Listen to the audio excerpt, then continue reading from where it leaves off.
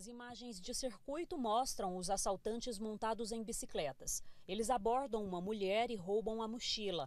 Ainda mandam ela levantar a roupa para mostrar que não tinha mais nada e vão embora, tranquilamente.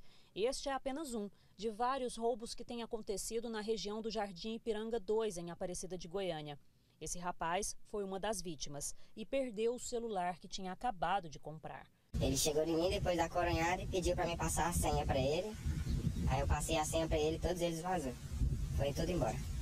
E você não conseguiu mais rastrear o seu celular? Não, não consegui rastrear porque eu acho que ele desligou o celular e não tem acesso para rastrear.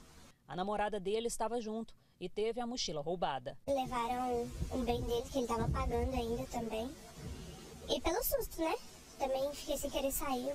Era um grupo de quatro pessoas que estavam voltando da praça, no Jardim Ipiranga, e indo para casa, no setor ao lado, o setor Serra Dourada 2, em Aparecida de Goiânia. A casa de um desses rapazes, que acabou sendo vítima do assalto, fica a quatro quadras de onde eu estou agora, que foi onde aconteceu o assalto. Aqui tem uma câmera de segurança de uma das casas, mas que infelizmente não pegou a ação dos bandidos, porque a ação foi do outro lado da rua.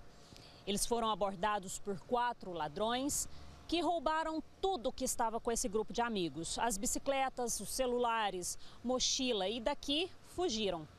Depois desse assalto aconteceu o outro roubo, aquele que nós mostramos no começo da reportagem através de imagens de circuito.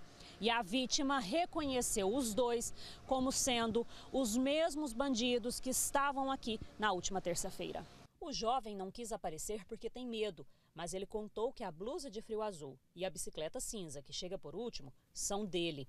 Esses mesmos ladrões estão aterrorizando os moradores da região. E de um amigo meu também que mora aqui na parte de baixo aqui também, roubaram a bicicleta dele praticamente no mesmo lugar, na mesma rua. E uma moça também lá perto do colégio Dom Pedro também, né? roubaram, a mãe da a amiga da minha mãe também roubaram e nós juntou e ficou sabendo que é a mesma pessoa, mesmo formato, rosto, tudo. As vítimas esperam justiça. Justiça, né? Não correr atrás das pessoas que pegou meu celular, porque também tá roubando é só de mim, né? Tá roubando de todo mundo. Justiça, né? Porque parece que a polícia não tá muito interessada em correr atrás.